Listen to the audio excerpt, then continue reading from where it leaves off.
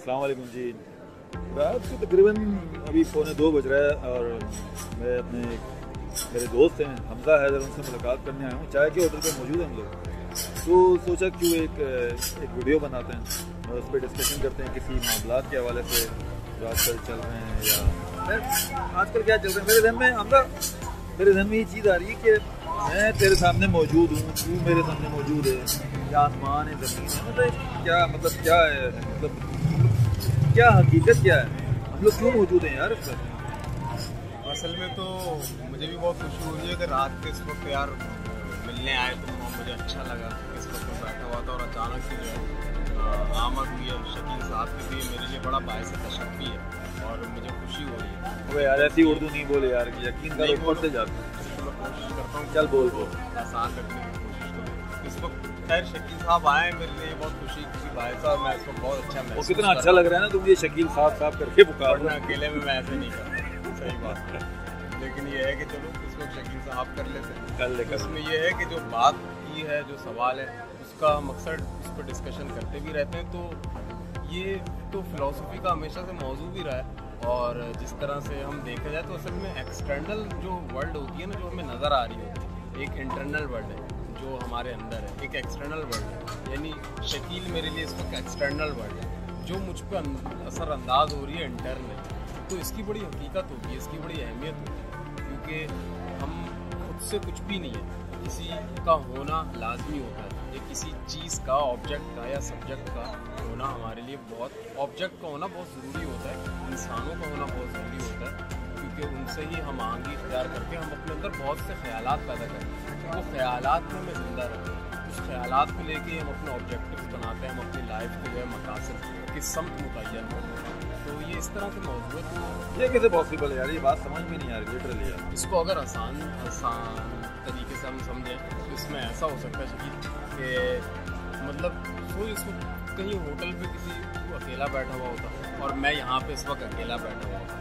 तो हम कुछ सोच रहे होते हैं, लेकिन हम इतना ज़्यादा उस वक्त मुतमिन नहीं होते इतना ज़्यादा वो तमानियत ज़्यादा माहौल नहीं होता कि हम मतलब अंदर से खुद को मुकम्मल महसूस करते इस वक्त मेरा आ जाना और मेरा बैठना शकील के साथ, ये बड़ी ही एक इस वक्त जो है ना एक अच्छी कैफियत दे रहा है कि मुझे ऐसा लग रहा है कि शकील मेरे साथ बैठा हुआ रात के इस पहर में।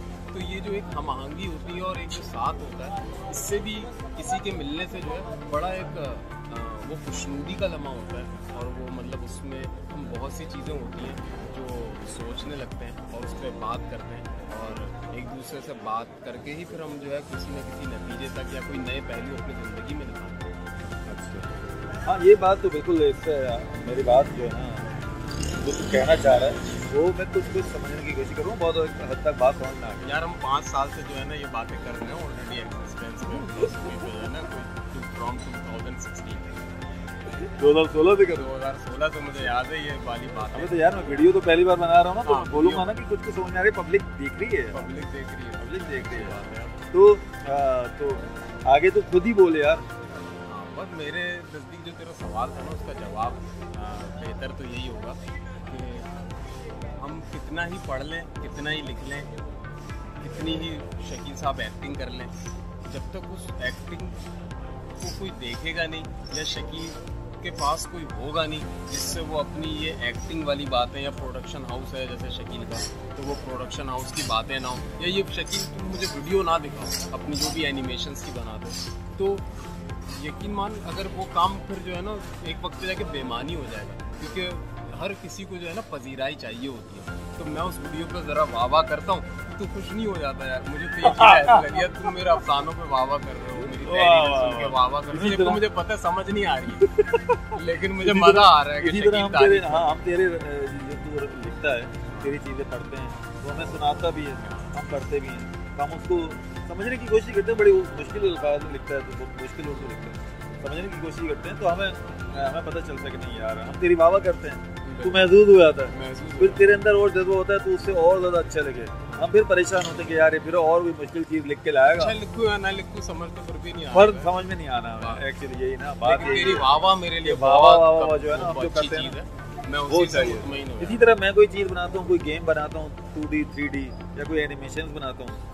या कोई डिजिटल वीडियो बनाता हूँ तो वो तो देख के बोलता वाह यार क्या बनाइए है यार। हालाँकि वो मुझे मालूम होता है उसके अंदर बहुत सारे नक्स होते हैं हम्म। बहुत सारे प्रॉब्लम्स होते हैं बड़े चैलेंजिंग होते यार उस मसल में मुझसे तो मुहावरा है ना क्योंकि मैं उस फ़ील्ड का आदमी नहीं हूँ हाँ। या वो एनिमेशन का या उसमें जिस तरह से तू सीक्वेंसिंग की बातें करता है या दूसरे मामला लाता है वो टेक्नो टेक्निकल बातें भी मैंने प्रोडक्शन के हवाले से तो साथ रह रह के सीखी है। अदरवाइज़ उनसे मेरा कोई ऐसा बरह रास्त ताल्लुक नहीं रहा तो मैंने कई चीज़ें तो रेंडर कैसे लगता है मूव कैसे बनती है तो तो यार ये तूने तो ये चीज़ें सीख ली ना लेकिन हमने तो तेरे तेरी लिखाई के बारे में कुछ नहीं सीखा। नहीं नहीं असल में हर चीज़ जो है ना इंसान पे लाशौरी तौर पर असर तो जैसा लग रहा है कॉन्शियसली जो है ऐसा नहीं हो रहा है। हो सकता है लाशौरी तौर पर वो चीज़ें मुस्तकिल जो है ना एक रब्त पैदा कर रही हूँ जिसकी वजह से इंसान की रेशगी का सफ़र मुस्तकिल चलता रहे। मतलब ये कहना चाह रहा है जो आजकल हम डिस्कशन कर रहे हैं एक फ़िल्म बनाने के हवाले से तो वो उसी बात का नतीजा है जो तुम मुझसे अपनी अपनी जो तेरे तेरी अशातें होती है जो तू लिखता है जो तेरे अफसाने होते हैं तो हम उससे इंस्पायर भी होते हैं उसको तेरे एक अफसाने को देख के एक शॉर्ट फ़िल्म भी बनाई है। वो बहुत जल्द रिलीज़ होने वाली है इंशाल्लाह। तो तो आ, मैं मुतशक्र भी हूँ कि तूने मेरी तहरीर तूने यार उस पे फ़िल्म बनाई है तो ये मेरे लिए भी बड़ी मतलब एक एहसास की बात है। तो वो वो राइटिंग इतनी अच्छी थी वो अफसाना इतना ज़बरदस्त था और उसका उसका टाइटल तो बहुत अच्छा था हमने तो खैर नाम मुझे डर ये लगता है असल में कि वो बन गई है ना तो अब तेरी एक्टिंग की वजह से मेरा कंटेंट पीछे ना रह जाए और तेरी एक्टिंग आगे वाह वाह वाह, ये तो वाह ये तूने वाह वाह कर दी एनिमेशन। डायरेक्ट मुझ पे कर दी वाह वाह वाह वाह। ठीक है। तो फिर हम हमारे डिस्कशन फिर कहीं और चले गए। हम हमारी चीज़ों को प्रमोट करने लग गए। मैं तेरी तेरे अफसानों को मेरी एनिमेशन को प्रमोट करने लग गया। तो हम वापस आते हैं वही अपने फिलासफी की तरफ़। और जो तू बता रहा था, उसको कंटिन्यू कर। हाँ। देख, इस वक्त हम जिस माहौल में बैठे हुए हैं, और इस वक्त रात का कोई पौने दो बज रहे होंगे तो इस वक्त अगर हम ये सोचें और जिस तरह से हमारी मुलाकात हुई है तो इस मुलाकात के बहुत से जो है ना पहलू होंगे।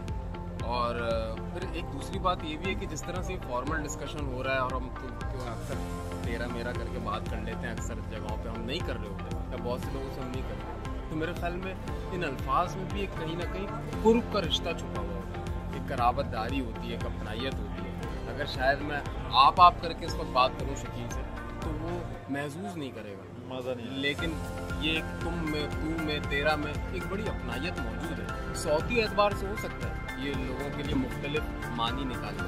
लेकिन ये है कि ये अपनाइत का रिश्ता जो होता है, असल में यही कोई ज़िंदगी की वजह होती है जिसके बगैर इंसान जी नहीं सकता जो मुझको लगता है। अगर अकेले ही मैं तहरीरें लिखता रहूँ और कोई सुनने वाला नहीं, या कोई समझने वाला नहीं तो ये मेरे लिए एक उल्फत का बायस होगा। मैं सूबत ज़्यादा हो जाऊँगा।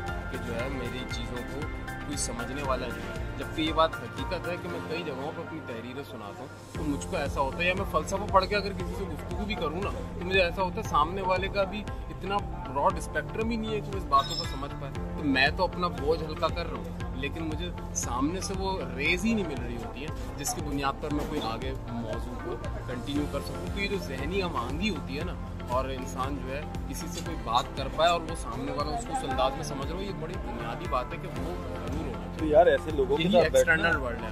तो ऐसे लोगों के साथ बैठना जिसका ब्रॉड स्पेक्ट्रम हो यार ताकि बहुत से लोग हैं जाए, ताकि लोग तो हमारे बड़े और अकाबिरों में जो आते हैं जो अभी हल्के में उनके साथ बैठ के तो बहुत ज़्यादा फ़ायदा भी होता है। जैसे मैं नाम लूँगा जो हमारे डॉक्टर सलमान सरवत भाई हैं तो मानी अच्छी है। एक मुलाकात है। उनके साथ बैठो तो उनसे फ़लसफ़े के मौजूद पे बात करने में मज़ा मैं खुश होता हूँ क्योंकि वो उनका रब्त है इस सब्जेक्ट के साथ। तो उनसे जो बात मैं करता हूँ तो मुझको ऐसा लगता है कि इस पर जो जवाब आएगा सामने से, वो मेरे इल्म में इजाफे का बायस बनेगा वो खाली सुनेंगे नहीं, तीन चीज़ें मुझमें जो मेरे अंदर ऐसी मुंतकिल कर देंगे जिस पर मैं रात भर सोच सकता हूँ, रात भर कोई बात कर सकता हूँ। और ये सोच ही तो है जिसकी बुनियाद पर एक लिखारी और लिख सकता है, या फ़लसफ़े की नई तोजीहत हम पेश कर सकते हैं। तो ऐसे बहुत से लोग हैं, लेकिन ये है कि अब इस मसरूफ़ ज़िंदगी में जो है किसी का होना हर वक्त मैसर नहीं है। तो जब जब मुलाकात होती है तो डॉक्टर सलमान सरवत हो गए, नईम समीर हो गए, तू हो गया। तो उनसे बड़ी चीज़ों सीखने में इजाफा हो गया और बहुत काफ़ी सीखने को मिलता है। क्या बात है क्या बात है। तो इस वीडियो का एंड करते हैं। आखिरी कुछ एंडिंग नोट पे कुछ कहना चाह रहा हो तो बोल इस वीडियो का एंड करते हैं। वीडियो का आगाज़ इस तरह से हुआ था शायद कि मुझे याद आ रहा है कि मुशाहिदा या जो हम देख रहे हैं वो हम किस तरह से असर अंदाज है। तो ये तो वीडियो रिकॉर्ड कर रहे हैं लेकिन ये वीडियो रिकॉर्ड हो नहीं हो हम वैसे भी इतना मिलते हैं। तो ये जो एक दूसरे से मिलना है और एक दूसरे के साथ उठना बैठना है असल में ये बाहर की शकील मेरे लिए मेरी दुनिया से बाहर का आदमी है। ये अलग बात है कि मेरा उससे कुर्ब का रिश्ता है, मैं उससे बहुत मोहब्बत करता हूँ। लेकिन ये बाहर की दुनिया है। अगर ये नहीं होगी तो फिर जो है एक तन्हाई का सफ़र होगा और जो है मुझे एक कमी महसूस होगी। तो मैं यही कहना चाहूँगा कि हमारे अतराफ़ में जो भी लोग होते हैं, उनको हमको जो है ना इस तरह से देखना चाहिए कि उनके होने की एक अहमियत होती है।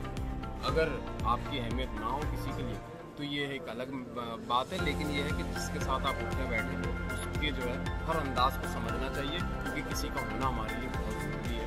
और इस टेक्नोलॉजी के दौर में रिश्ते उस तरह से मुस्तवार नहीं रहते, इसमें हर कोई मोबाइल में लगा हुआ है। ये सामने बैठना फ़िज़िकल मीटिंग्स ये बहुत अच्छी रहती है। इसी से जो है ना, एक असल रिश्ते और उनकी कदर बाकी रह जाएगी।